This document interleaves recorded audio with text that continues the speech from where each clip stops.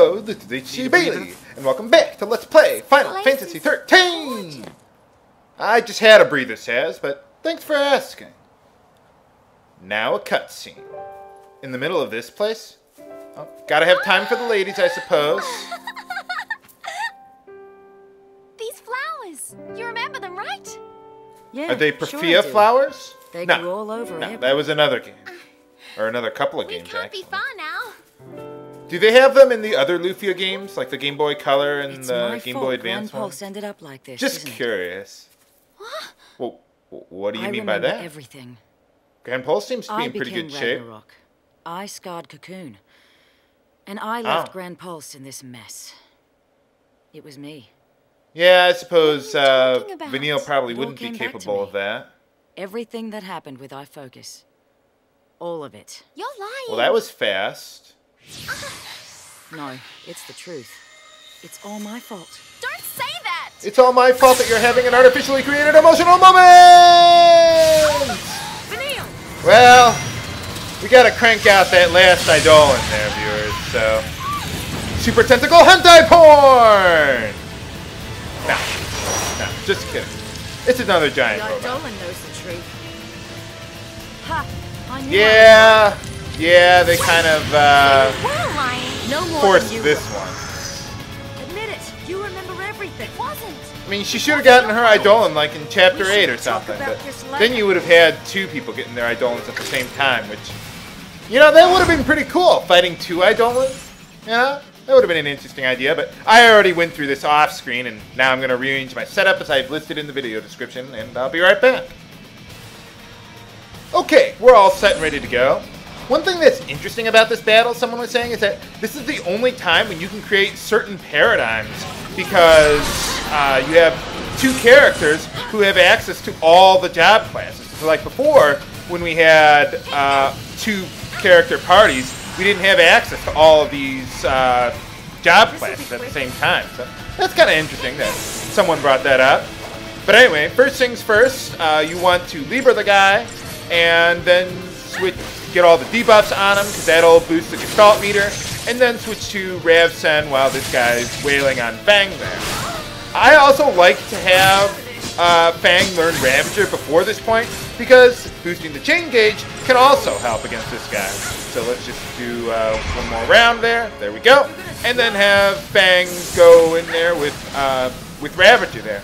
I actually would not recommend uh, learning the elemental strikes for her because that'll uh, cause her to move towards an enemy and she'll be more prone to uh, taking damage from physical attacks as a Ravager. And, well, there's some particularly large enemies that I'd be worried about that with. If I need to, I can use uh, Medrav, but I'm hoping I can chain the guy fast enough to do this. Come on. Yes! Got it. Okay, just press square and you uh, enter Gestalt. There we go.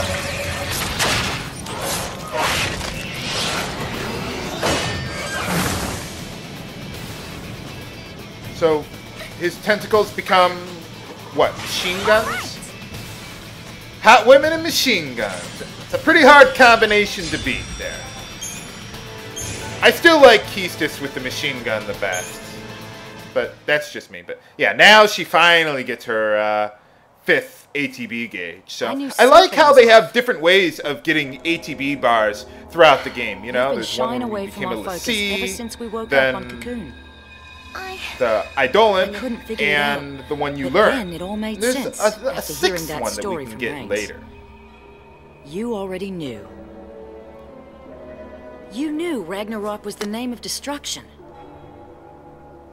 Um, It oh, wasn't yeah, well, we, fair. we saw the You had the to parade do all the earlier. horrible stuff, and I didn't have to do anything. That is no reason to lie to me. I want to do some of the horrible stuff too. You stuff think too. that's what I want? Come on, Fang. Ah.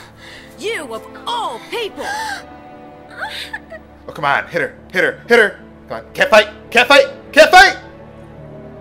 Come on. Oh, Poor man. Wanted a You've cat had it fight. rough. Fang. I'm. Listen, you're not alone anymore. Just like Zidane. I'm so sorry. for Keep that up, and you'll What? have me crying soon. I'm an emotional lady. We have a new family now. We stick together. You hear me? Family of monsters. Well, okay, so now everyone has their Eidolons. So, yeah, um, everyone only gets one throughout the game, just so you know. And, you know, I'm okay with that because, you know, otherwise, you know, they'd actually have to be useful, and they're not really, not that much. I mean, I, they have their uses, but not too much. So, okay, well, now we're back to this party, so I'll just return back to my old setup and be right back. All right, let's go. Let's do this. Yeah, they just kind of put this area here, this hole. This is a hole, right? Yeah, this hole in the area just to get the Eidolon. And Business? well, yep. Now we're back to business. So let's move along through uh, the long narrow hallways again. Not too much left to this area though. Oh, look, more of those guys, and they're fighting each other too. Well, that ought to be easy. Uh, let's see. I want to use. Yeah, we'll use Triple Ravager for this one. You know what they should have done? They should have had a new Eidolon for every chapter, like chapters 5 through 10 or something like that. That would have been kind of interesting. Um, who are we going to target first? Yeah, we kind of have to take out those little bombs first. Alright, for defeating those guys, what do we get here?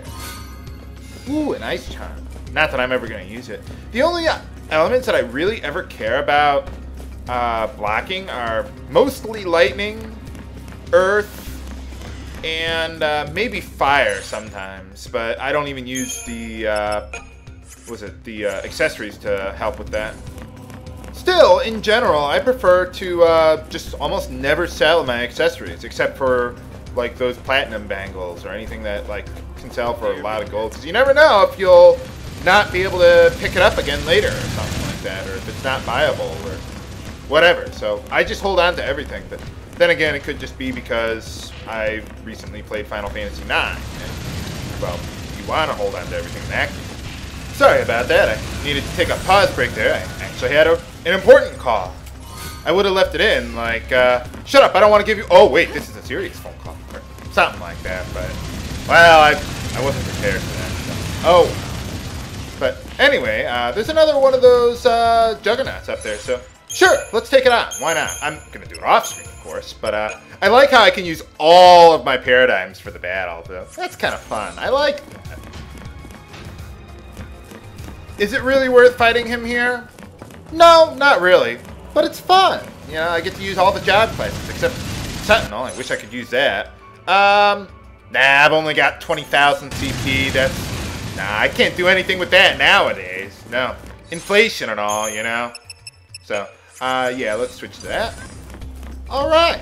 So, oh, you know what? Oh, there's treasure up there. Yeah, let's go. I was to say, let's move along, but no, no, I want to get all the treasure. What do you mean it's not a pretty sight? I like watching robots creating other robots. Sounds a little perverse, actually, but nah, nah. Death to all Rubik's Cubes and all the frustration they bring. Yeah, I'll be honest, good viewers, I cannot solve a Rubik's Cube. Yeah, I know, that's a real shock. Wonder if those guys will merge together like the other guys we met up with earlier, if I let them sit around long enough. Eh, not that I want to find out. No way. Ooh, perfect conductors. Those are pretty good. The uh, particle accelerator that we got a little earlier there, that's really good for uh, upgrading your equipment. But, uh, nah, I- well, I'm going to save that for later. Um, yeah, we're good. I like how in that battle I get the preemptive strike, and then Sazh casts Thundaga, and he's like, say goodbye! Get ready for a surprise! Well, if I have time, let's see if I can fit this one in this episode. Yeah, I didn't get the, I didn't want to show it yesterday because I wanted to keep the episode to uh, well, 15 minutes. So let's ta- take this guy out. Uh, he's pretty much the same as all the other ones that we fought. Uh, he can summon more of those hoplites if you uh, kill them. So obviously you have to kill the big guy first, which is normally what I don't want to do. But well, you got to take him out. So let's get him. I think he's like buffing up the other guys or something like that. But anyway, once you've got him staggered, go to Comrade Rab, launch him into the air, and then the rest of the battle's pretty easy. Don't worry about all the buffs these guys have, just keep on going all out. I suppose I could use Dispelga if I really wanted to. Uh, Dispelga is a new uh, technique that we got right there. You could use it if you want. It removes all buffs and debuffs on everyone. All enemies, all allies, everyone. So it can be useful in some situations, but I usually don't like using it. And launching that, uh, what was that guy earlier? Launching that uh, Juggernaut in the air, you know, that's pretty impressive for a tiny sword you got there, Lightning. Not quite as impressive as suplexing a train, but still pretty impressive. Or suplex, or however you pronounce that word. I'll be honest with you viewers, English was not my strong subject. So, yeah, I know that's real shocking to you.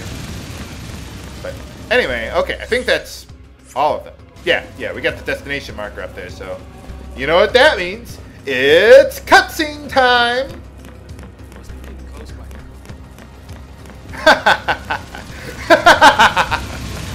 yeah, we're getting real close, Sazh.